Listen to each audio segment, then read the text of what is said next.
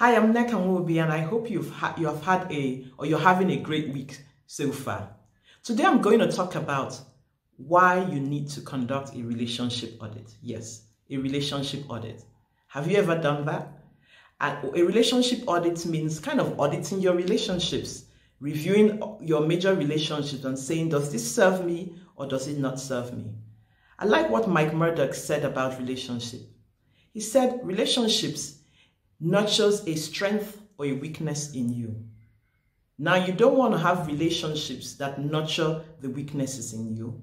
That will be very um, energy draining and rather than adding to you. So, when I mean, does your relationship serve you? I actually mean, are you deriving value from that relationship? Does it benefit you?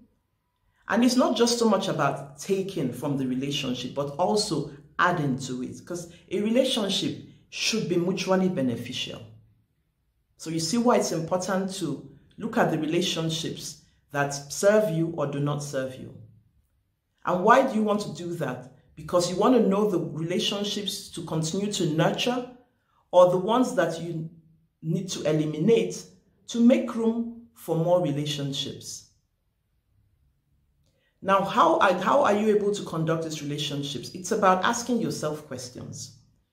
One question to ask is, do we have anything in common besides a shared history?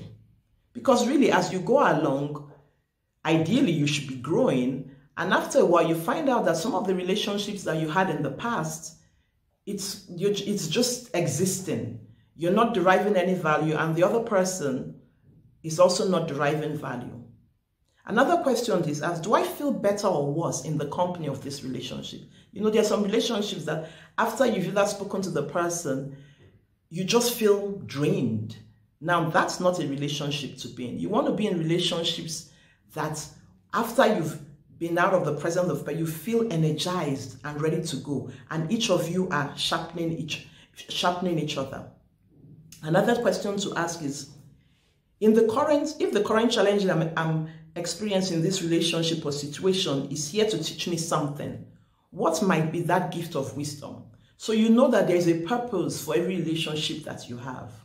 As I said, it's not just so much about give um, receiving. Even though, yes, you may not be receiving in the area that you thought of, you will be receiving in a different way. An example is sometime last year, my friends and I conducted a project where we went to rehabilitate or work with some ex-prostitutes. Now, these ex-prostitutes who are now doing better jobs and being able to fend for their families, um, I still have the relationship with them. I see how they're doing. And so what I got out, what I'm still getting out of there is a sense of fulfillment that I'm adding value to somebody else's life. Another reason why you should conduct a relationship audit is so that you can identify the gaps in the types of relationships you have, especially in business. You may decide, oh, I need this setup. I need to know this set of people and develop relationships with them. In which case, your action may be to join a civic organization or a professional association to enable you develop new relationships. So I ask you, what relationships at this point in time do you need to eliminate? Let's start with that first. And which ones do you have to, do you need to strengthen? Because it's also important that you also work on strengthening your relationships.